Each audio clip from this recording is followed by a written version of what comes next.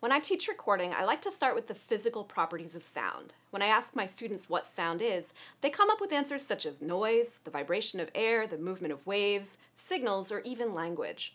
Specifically, sound is a compression wave which results from the back and forth vibration of the atoms of the medium through which the sound is moving. Although we usually graph waves so it looks like they're going up and down, the graph is actually indicating the positive and negative pressure over time, not the movement of individual atoms. The atoms are bumping into each other, creating oscillations of high and low pressure. Compressions are regions of high pressure, tightly spaced atoms, while rarefactions are regions of low pressure, loosely spaced atoms. In digital audio, we map sound pressure level from negative 1 to positive 1. Negative 1 refers to the lowest pressure we are recording, while positive 1 refers to the highest pressure. The tagline for the movie Aliens is In space, no one can hear you scream. Space is a vacuum, meaning there aren't any atoms. Unlike light, sound needs a medium of transmission. Without atoms, there is no sound.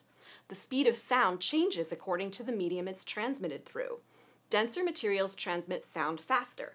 In air, sound travels at 800 miles per hour, water 3,000 miles per hour, and steel 13,000 miles per hour. When it's humid, sound travels faster because the air is denser.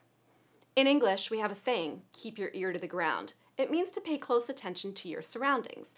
The origins of this phrase are actually based in physics. You can hear better through a solid than through the air. If you watch an old Western movie, you'll see the characters put their ear to the ground in order to listen. It's possible to hear horses galloping from the vibrations in the earth before you would hear the sound transmitted in the air. Large changes in pressure result in louder sounds, while small changes in pressure result in softer sounds. When we record audio, we're recording these changes in pressure.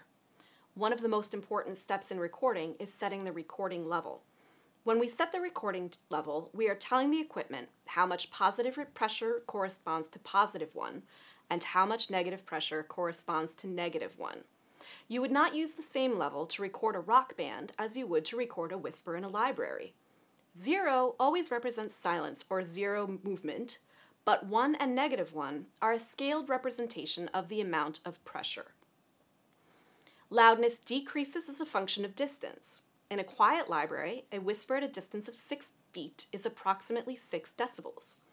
A rock concert is 115 decibels, and pain begins at 125 decibels. You can use the same equipment to record the whisper as the rock concert, but you have to set your levels correctly. When recording, you want the loudest sound possible to get as close to 1 and negative 1 without going over. If the whisper is usually 5 dB but has moments where it is 7 dB, you have to set the level so that the 7 dB matches 1 and negative 1 in order to prevent the sound from clipping. If you're recording the rock concert, you would want 115 decibels to correspond to 1 and negative 1. If you set your recording level so that 5 dB is the highest pressure that it can record, what happens at 7 dB? The equipment only lets you record from negative 1 to 1, so anything above 5 dB gets mapped to 1. This creates a horizontal line on the waveform. We're not able to measure the change in pressure from 5 to 7, and so the information gets lost. We're not able to measure accurately, which means we can't reproduce the sound accurately. It's very easy to hear this clipping. The sound gets distorted. And this is why I think clipping is the first deadly sin in audio. Most audio programs have a level meter, which indicates if you have clipped. And I'll show you this meter when I cover the software. Before I go on, you should take a quick quiz on the materials I just covered.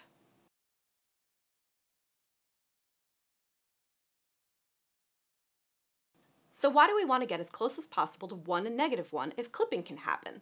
Why don't we just use a low recording level? If the level is set too low, your audio will have a background noise when you turn the volume up to hear it properly. It's impossible to get rid of background noise or the sound that we don't want to record. This background noise is called the noise floor. Again, the noise floor doesn't only happen in audio. In signal theory, the noise floor is the measure of the signal created from the sum of all the noise sources and unwanted signals within a measurement system, where noise is defined as any signal other than the one being monitored. The noise floor can be quiet, as in a recording studio, which ideally should have a noise floor of about 20 decibels, or loud, as in a building near a busy street or one with a lot of equipment running. If your recording level is too low, it's difficult to distinguish between the background noise and the sound you want to record. This isn't as problematic as clipping. The information is still recorded, but it means that your recording isn't as clear as it could be.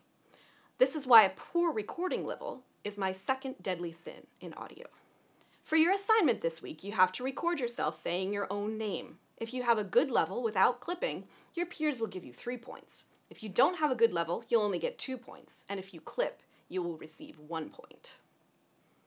There are three ways of changing the volume of the recorded signal. The one we just talked about is setting the recording level, and I'll show you how to do this in software. But you can also change the distance of the microphone to the source of the signal, because again, sound decreases as a function of distance. The further you are from the source of the sound, the softer it will be.